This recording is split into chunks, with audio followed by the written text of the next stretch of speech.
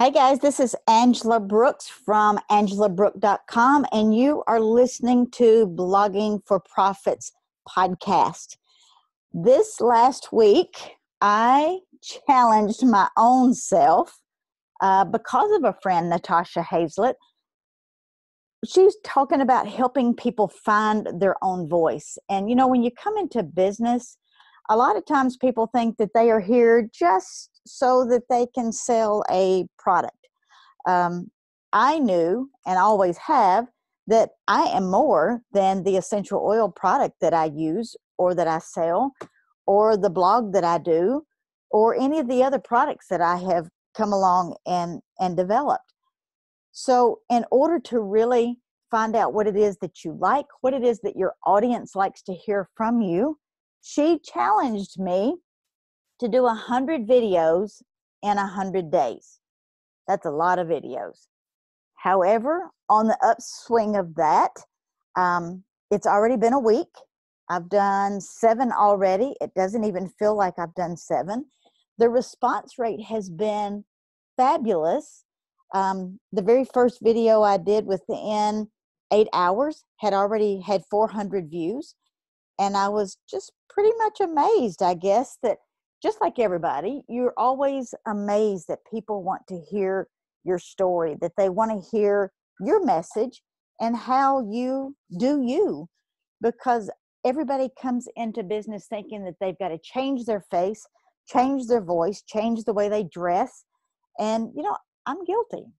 When I first came into business, I would go to events and I would go out and spend, you know, three to five hundred dollars on a brand new outfit so that I could have a new outfit every day that I was at these events.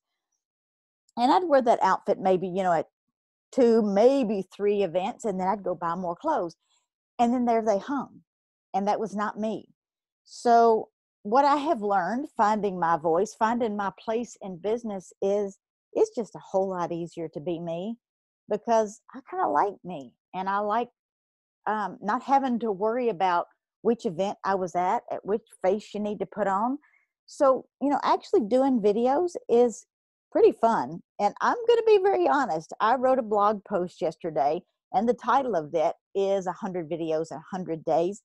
Is I hated videos. And it wasn't that I was afraid to push the red button. I hated the way I sounded. I didn't like the way I looked, no matter whether I got dressed up or dressed down for videos. I didn't like the way I looked on camera. And I don't mean just I didn't like them a little bit. It was like I didn't like to watch other people's either. And, you know, the fastest way to get in front of people is through Facebook Live. Uh, my business coach, Ray Higdon, said that for three years. And I did do um, videos when I was under his coaching. I mean, I wasn't going to dishonor what he was telling me. I absolutely did them. But, you know, Ray has done a video every single day, way more than that now. Uh, he does several a day. But he's done a video a day for over 10 years. And look where he's at because people are able to hear him, see him, watch his crazy, funny movements. And I was just like, eh, I'm not that kind of outgoing jokester person. I don't have that personality, but guess what? You don't have to have that personality. You know, I rarely, rarely go back and listen to any of the the videos that I do just because I don't I don't like to, so I don't. And I have learned this year that um, stop doing what you don't enjoy doing. If you hate blogging, you hate writing, then do a podcast like I'm doing what you're listening to right now um, if you don't like uh, doing videos, at least do a podcast so that people can hear your voice and get to know you that way. Um, but I highly encourage you to get on this 100 day, 100 video challenge with me and just see what it does. They don't have to be long. Most of mine are five minutes or less. Um, when I, I'm going to bring on some special guests, and I'm sure those will be, you know, about 30 minutes because I'm not going over 30 minutes because I, my attention span is short, just like yours. And I don't want to do long, lengthy, blah, blah, blah kind of videos. I, um, I want to do short and sweet and stay in front of people because they're busy. And I think people appreciate that. So, um, you know, I know a lot of people get nervous on camera. You know, we all do until we get the hell out of our own way because we're the only ones that are holding ourselves back.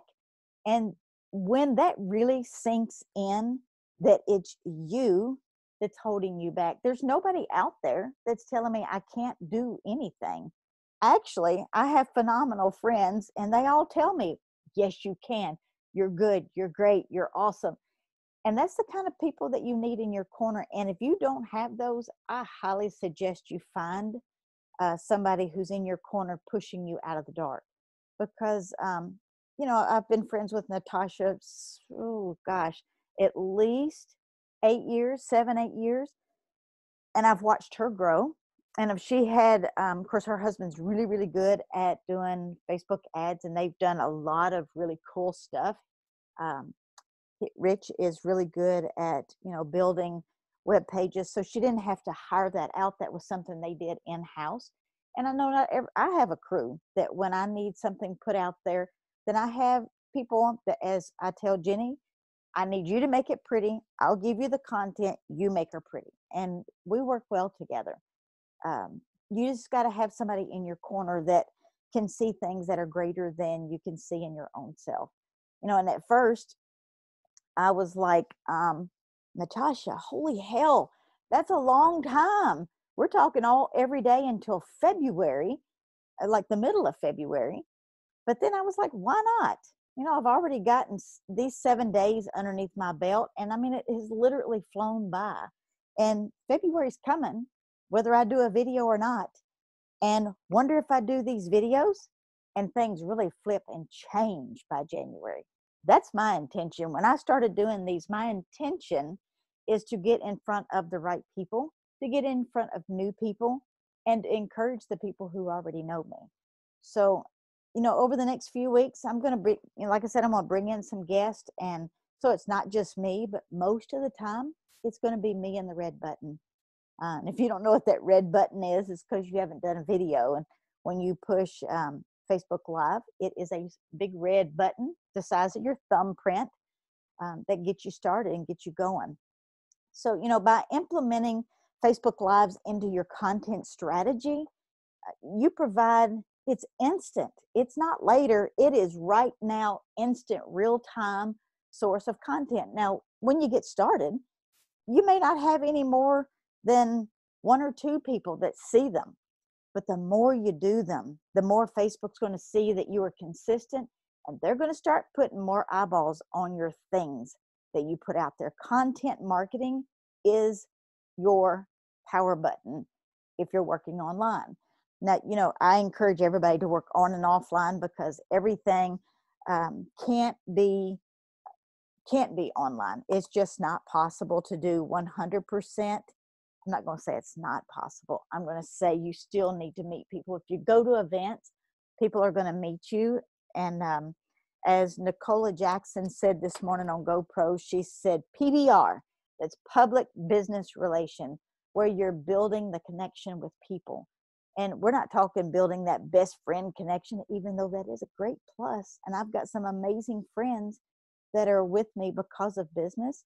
But just building that connection so that when you see people, you have friends literally all around the globe. And it's just you can do this with video, but you can also do it with your PBR.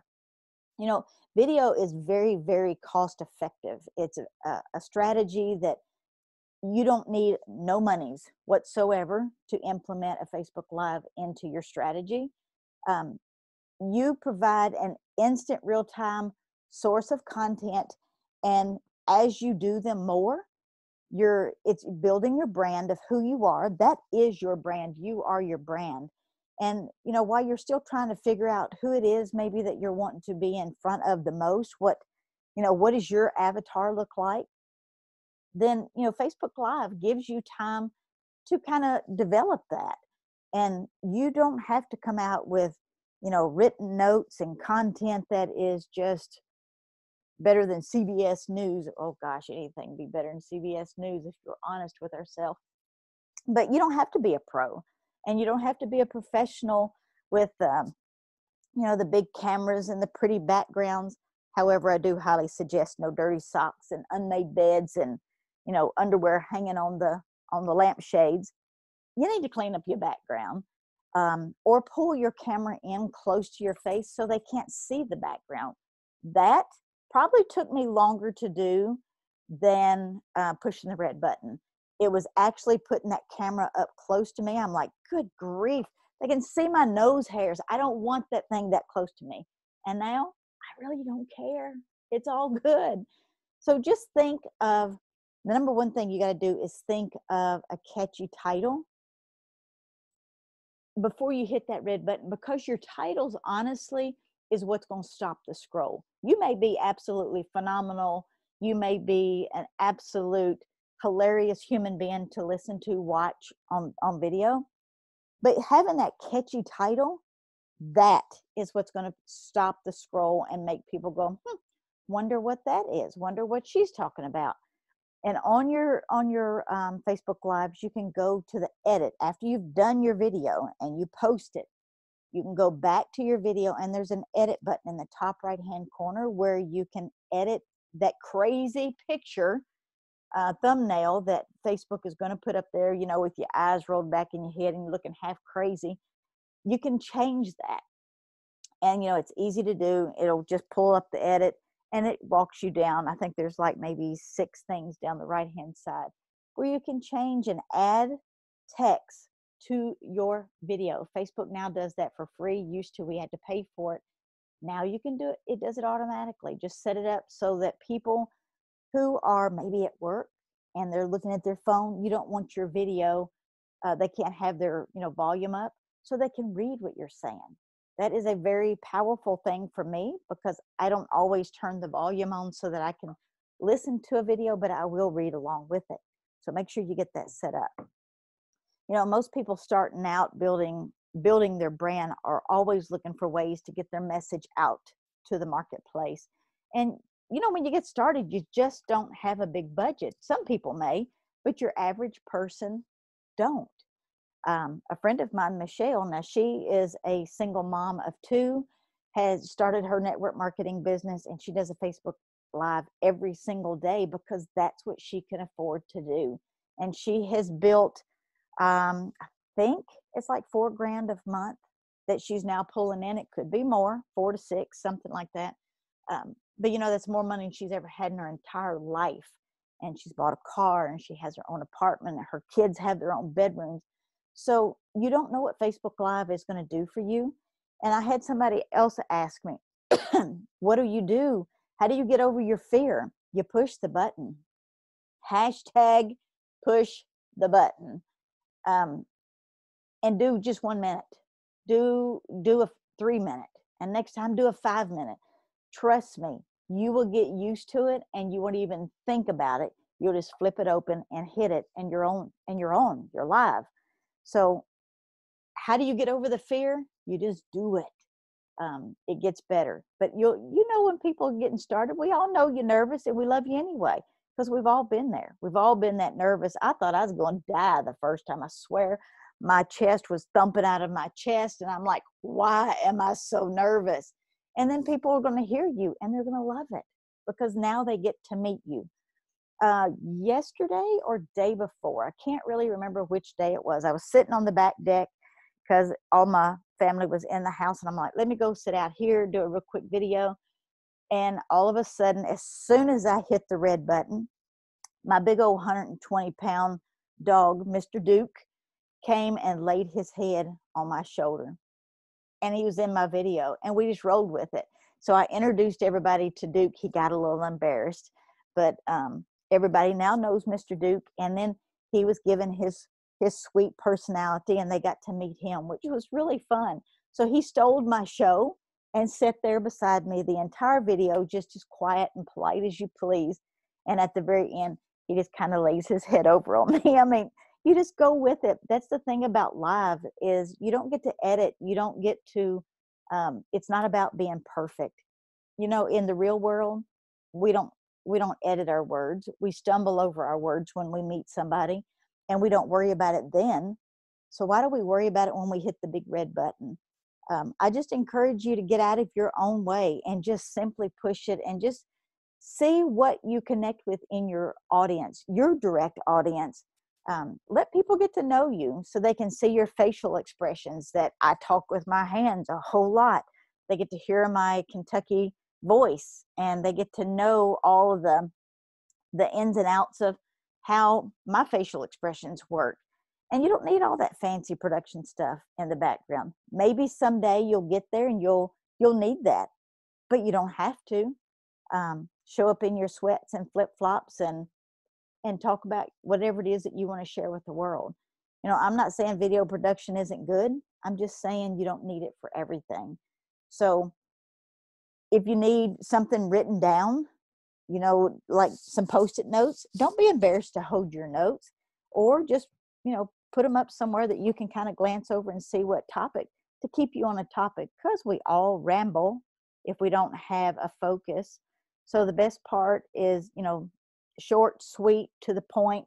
Do maybe three steps five steps at the most. Um, remember you gotta you gotta learn your audience to see what keeps keeps and captures their attention. So i hope this was helpful for you. Uh, come follow me on Angela Brooks Biz, B I Z, on Facebook. Um, I'm going to be doing these, like I said, to the middle of February, and I have intentions of not stopping in February, but continuing so that I can build my brand as large as bigger than even my thoughts of what I can do.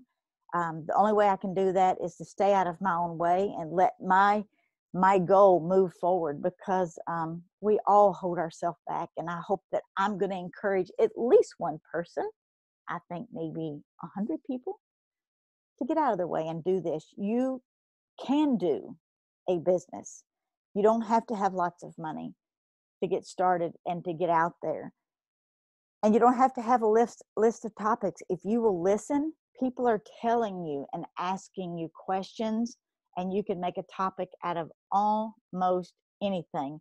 Of course, I talk about that over in my master class. Um, that is something that uh, I taught, uh, I think it was maybe, I don't know, two three months ago. And, you know, that's angelabrook.com Freedom Academy Master Class. That was something that um, I taught all of the ins and outs. Actually, uh, I can't remember what link it is. AngelaBrook.com gift, I believe. Um, AngelaBrook.com forward slash gift. Um, and that will get you more information about the masterclass. If you're on Instagram, come follow me. I am now on Instagram, IGTV. Um, if you'd have told me this last year that I was going to be on IGT, IGTV, I'd have said, ha, but I'm there. So y'all come and hang out, uh, introduce yourself. Let me get to meet you as well.